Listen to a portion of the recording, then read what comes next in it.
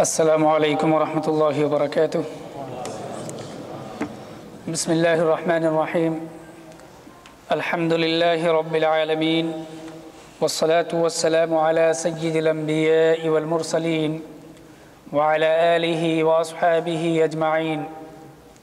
أما بعد فأعوذ بالله من الشيطان الرجيم. بسم الله الرحمن الرحيم.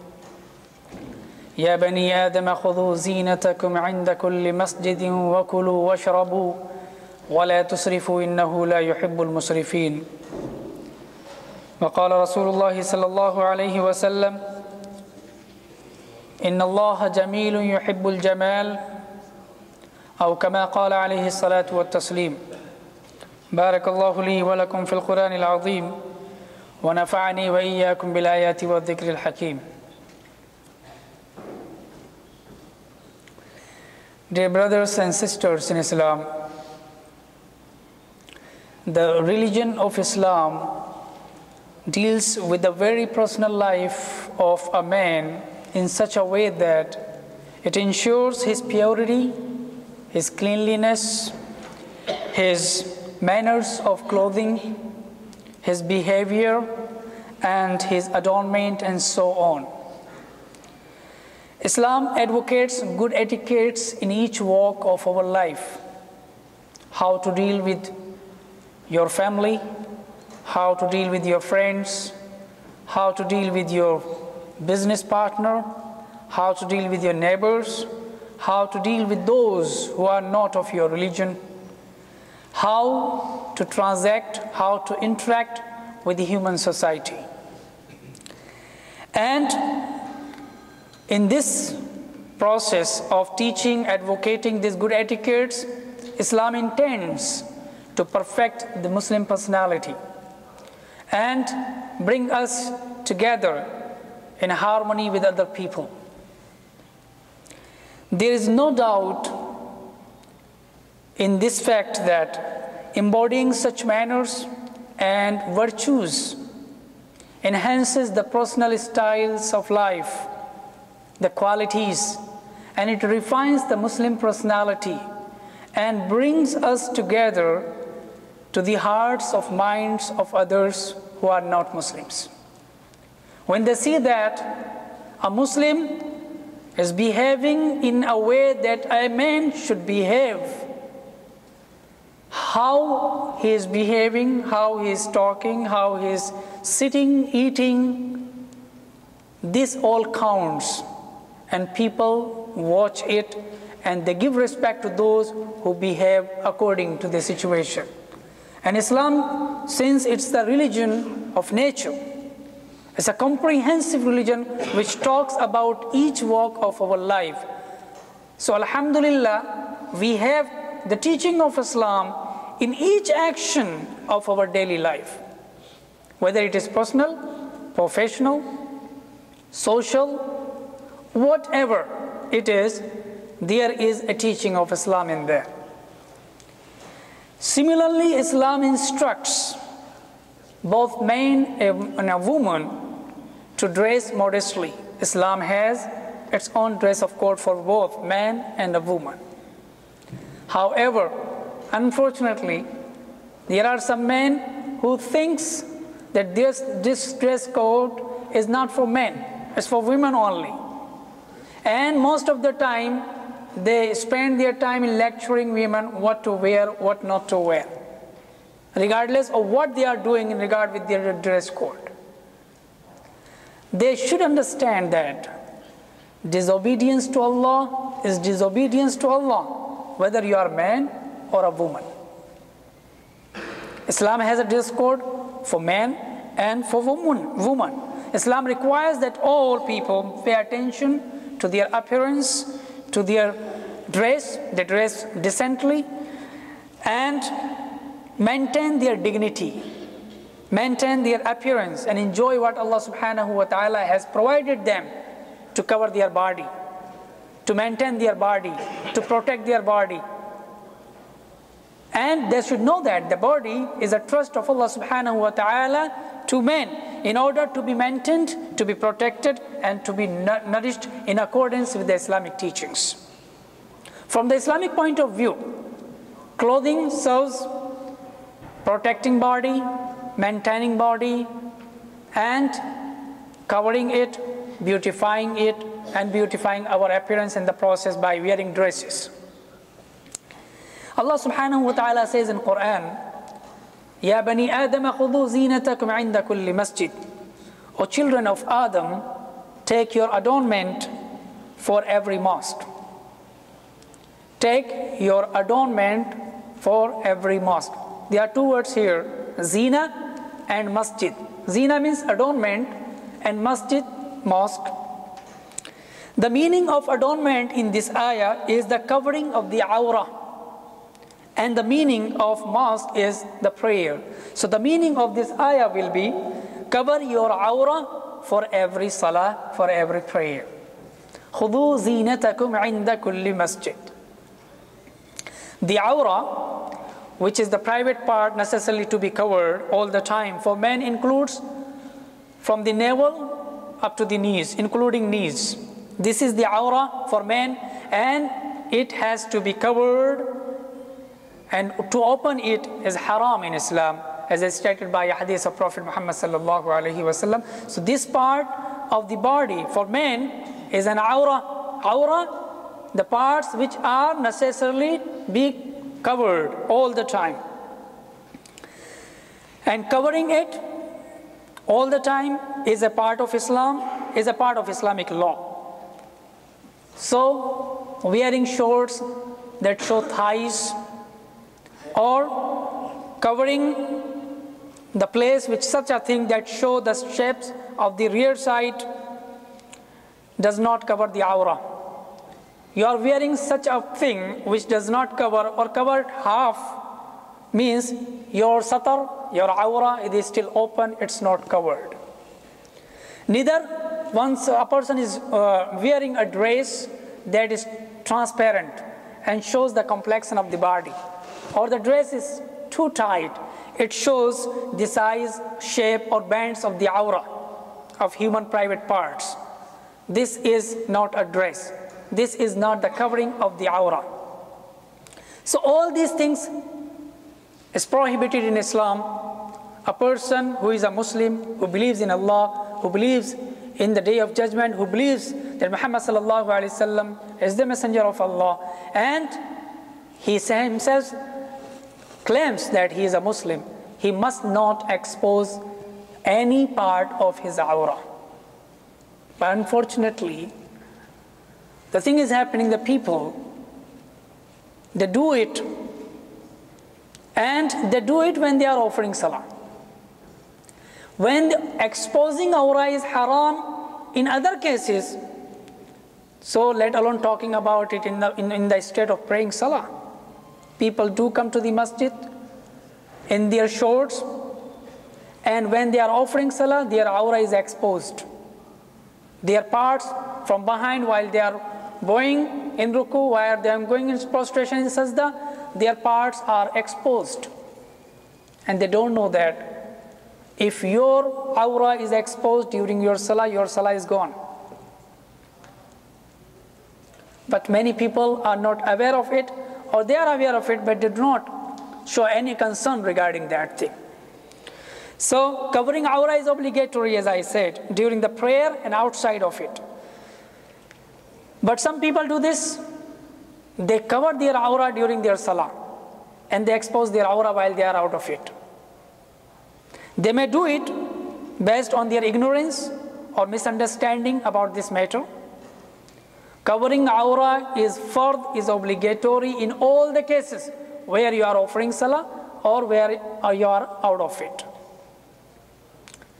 People come to masjid in the shorts, though their shorts are below their knees, and they come, they offer salah with their half sleeves of their shirts, and they say that they, are, they, are, they feel comfortable. Salah is one of the most important pillar of Islam. It is second most important pillar of Islam after Tawheed, oneness of Allah subhanahu wa ta'ala. And when you are standing in prayer, you are doing the conversation with Allah subhanahu wa ta'ala. You are doing ihsan. And according to a hadith of Prophet Muhammad sallallahu alayhi wa sallam, the ihsan means to salli أن تعبد الله كأنك تراه فإن لم تكن تراه فإنه يرى. Rasulullah sallallahu alayhi wasallam said that you worship in a way that you are seeing Allah subhanahu wa ta'ala. And if you are not seeing Him, at least He is watching you. That is our concept of Salah. When we start our Salah by saying Allahu Akbar, we engage ourselves in conversation with Allah subhanahu wa ta'ala directly. And you are standing before the Lord of the Lords, Lord of universe, in such a state that where you may fear that any part of your body which is an aura can be exposed during the, your salah. My dear brothers and sisters, this is a common thing. When you go to any party, any invitation, and you are supposed to go somewhere in any function, in any meeting, whether it is personal meeting, professional meeting, business meeting, or anything, you try your level best to attire yourself in the best suit available for you. And when the salah time comes, you just take off all these things and wear those things which are lying in the corner. Just to feel comfortable, casual. While here you are fixing a meeting with Allah subhanahu wa ta'ala, the Lord of universe. And you are not sure about it. You are not clear about it. Whatever you are wearing, we have to be extra careful about it. Because many a times it happened before the people come in the masjid, they come in their shorts, and when they go in their sajda, in their ruku, the private part of their body from behind is exposed. And they don't know even about it. Either they don't know or they know but they take it lightly. This is haram in Islam. On top of that, your salah is gone, for which you have come to the masjid.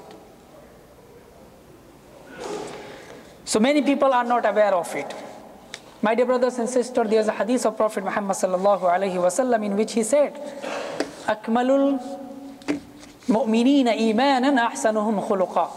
Rasulullah sallallahu alaihi wasallam said that the perfect Muslim is the one who is perfect in his manners, in his conduct, who has the best conduct.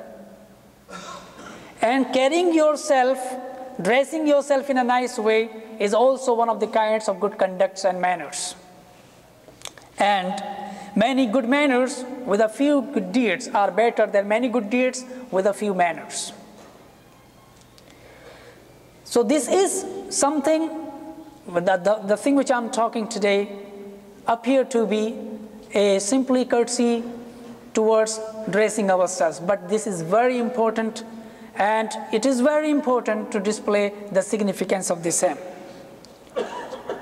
When you dress, this is a personality of a Muslim.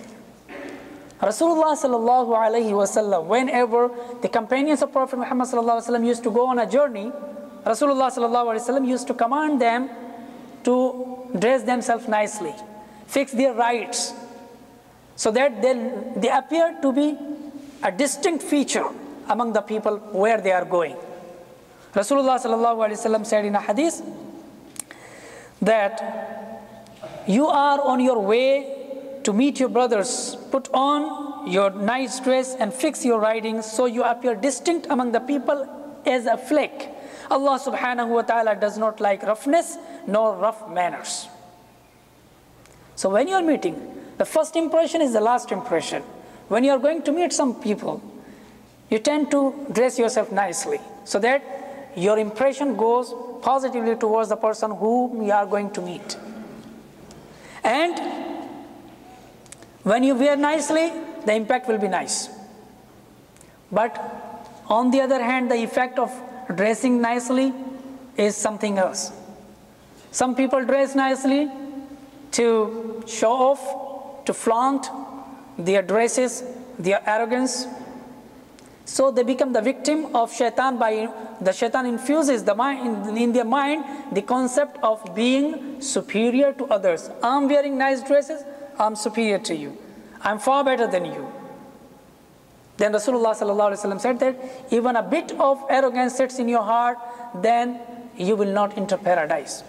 Rasulullah ﷺ said in the hadith, لا يدخل الجنة من كان في قلبه مثقال حبة من خردل. يقال إن الرجل يحب أن يكون ثوبه حسنا ونعله حسنا فقال رسول الله صلى الله عليه وسلم إن الله جميل يحب الجمال الكبر بطل الحق وغمط الناس أو كما قال عليه الصلاة والتسليم This is human nature. When he wears good dress, he feels good and he wants people to praise him. He wants to feel superior. And this is a kind of arrogance, pride, and vanity which sits in the hearts of such ignorant people. And about such people, Allah's Messenger Muhammad said that the person will not enter paradise in whose heart there is a even a, a small amount of kibr, even a bit, like a. A person asks, Ya Rasulullah, everybody likes that his dress is nice, his, his clothing is nice, his shoes are nice. Rasulullah sallallahu said, Inna Allah jameel. Verily Allah is beautiful and He likes beautiful things. Al-kibru batarul haqqi wa nas. But the concept which lies in your heart in order to show it to people is not good. The kibr, the arrogance, the pride is to deny the rights and to look down upon the people. Imam Ibn Taymiyyah rahmatullah said that among the things which Allah subhanahu wa ta'ala likes is nice dress. Dress yourself nicely. Allah subhanahu wa ta'ala likes it. And similarly, when we come to the masjid, we are coming to meet Allah subhanahu wa ta'ala, to meet our Lord. So we have to dress nicely, we have to wear perfumes which smell good. Because there is a hadith of Prophet Muhammad in which he said that do not come near to our masajid by eating garlic or onion. They smell bad. The malaikas are upset with the smell. Rasulullah sallallahu wasallam is teaching us a lesson over here. When you are coming to the masjid, do not come eat after eating such things, which may pass a bad smell to others in order to bother them. There are people who come to masajid wearing socks which bad with the bad smell. When they come, their clothes are smelling bad. It looks like that they have not taken showers for a long time. You are coming to the house of Allah subhanahu wa ta'ala, my dear brothers and sisters. You are coming to meet Him, you are coming to offer salah, and you are dressing in such a way that you are giving taklif to your brothers who is standing behind, beside you. In order, you are not only just making your prayer into a state of negligence or being neglected, rather, you are putting His attention to, to your bad smiling. So whenever you come to the masajid, you come to offer salah, wear dress, have shower, wear dress, clean yourself, put on nice dress, put on nice socks, and come with a nice and clean body and heart and mind. Rasulullah sallallahu wasallam said there is a hadith. Salman Farsi radiallahu ta'ala narrates this hadith that Allah subhanahu wa ta'ala will forgive the sins of the past week for he who on Friday will take a bath, cleanse himself, put on his regular perfume or any perfume available in the house. Then he goes out to Juma prayer and does not try to separate two friends. Then he prays wherever he could see and listens to the Imam. Then Allah subhanahu wa ta'ala will forgive all the past sins of the past week for him. There are three lessons. When Juma prayer comes, have shower clean your body. And then wear nice dress and put on a nice perfume. And then you should come in such a way that people are happy with you. You had not created any confliction between two people, two friends. Means you behaved with them nicely. And when you are coming to the masjid and praying in such a way that the imam is giving khutbah, you are listening to the khutbah which is wajib. then there is a promise in the hadith of Rasulullah that Allah subhanahu wa ta'ala will forgive his sins of the past week. It does not mean that you take shower only on Friday. If your body is stinking, take shower whenever it is needed. No, I'm going to take shower on Friday because in hadith is only for Friday prayer. It shows that because Rasulullah said this thing, he mentioned on Friday there's a big gathering. People come in big gathering to offer salah. If your body is stinking, if your body is giving a bad smell to others, they may take it offense, offensive.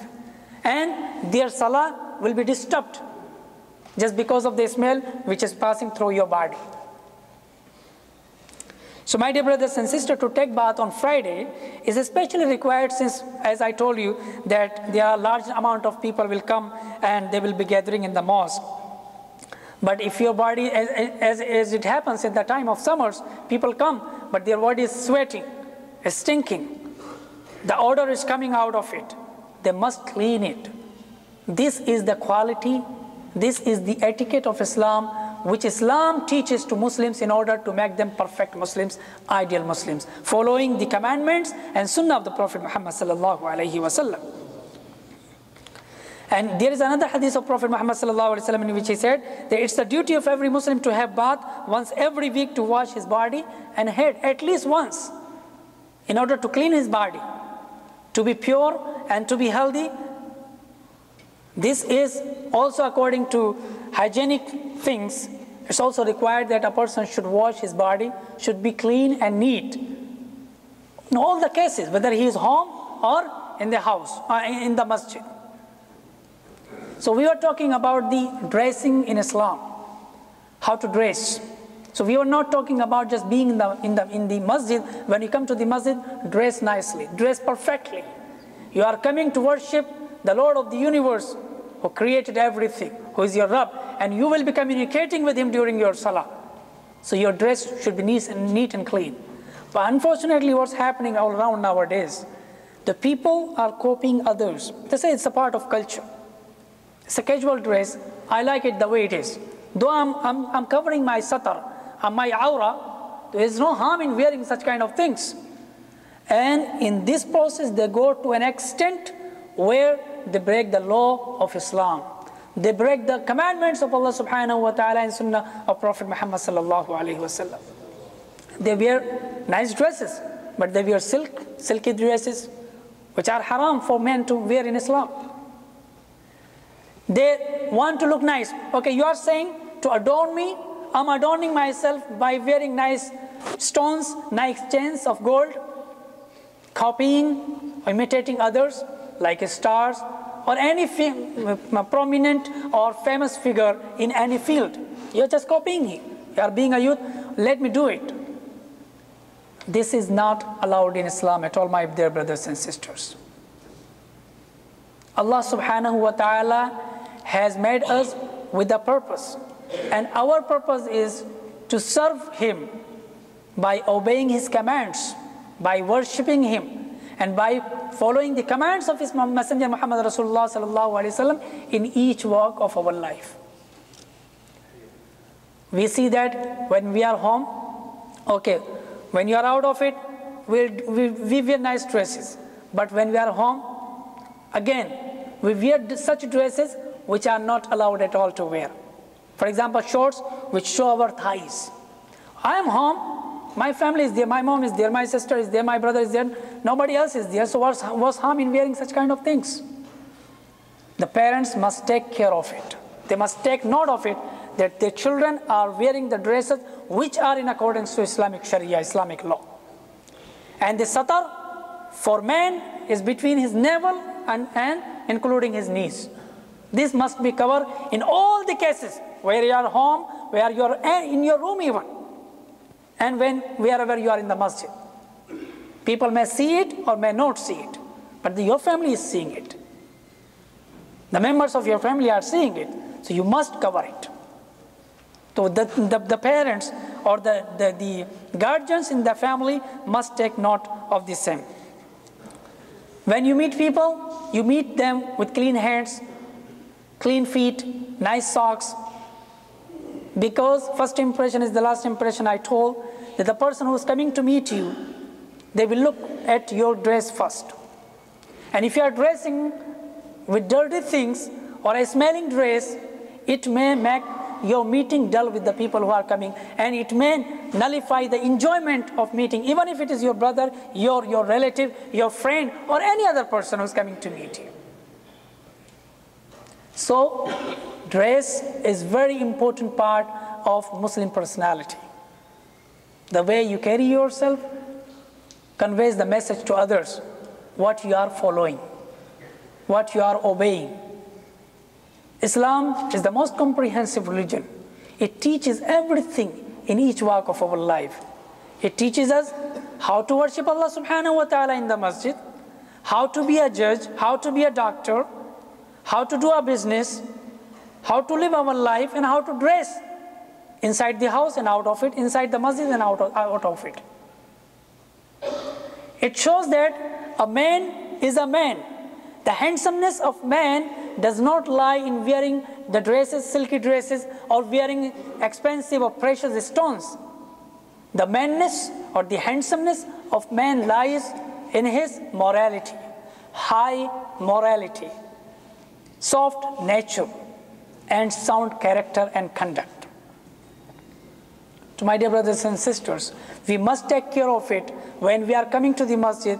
We are coming with a clean body, with a good dress, nice dress, and with a perfume which is smelling good and which is soothing to others. If they smell it, they like it, and they like meeting you, they like facing you, they like the environment around you.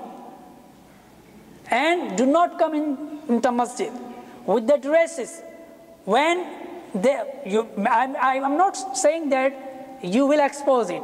It may be exposed unknowingly when you are going with in the ruku, in the sujood. And remember one thing that if it is done, if that part of your body is exposed, your salah is gone. You will be not knowing what part of your body has already been exposed. It happens sometimes unknowingly you are engrossed in salah, but your body is exposed, your salah is gone. What's the use of offering salah in, in such kind of dresses where you fear that it may happen? It may not happen, but it may happen. So, my dear brothers and sisters, this is a request that all the brothers, when you come to the masjid, come in a neat and nice clothes. Here again, I'm saying that you are worshipping Allah subhanahu wa ta'ala, and the best part of your salah is that you worship Him in a way that you are watching Allah. And if you are not watching Him, He is watching you.